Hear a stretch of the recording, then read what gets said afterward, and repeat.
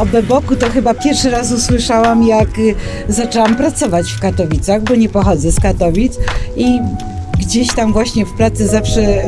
było, była mowa, jak tam starsze panie opowiadały, że Bebok przyjdzie po ciebie i nigdy nie wiedziałam, co to jest. No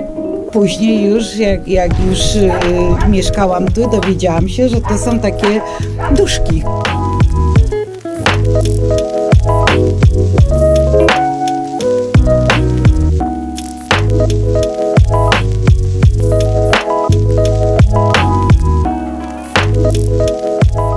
Moja przyjaciółka mi powiedziała właśnie, Krysieńka, że jest taka mapa, a w związku z tym, że mój wnuk siedmioletni Fryderyk się bardzo tym interesuje, nawet byliśmy ostatnio na otwarciu e, kolejnego beboka w starej fabryce porcelany, no to będę miała podkładkę dla niego.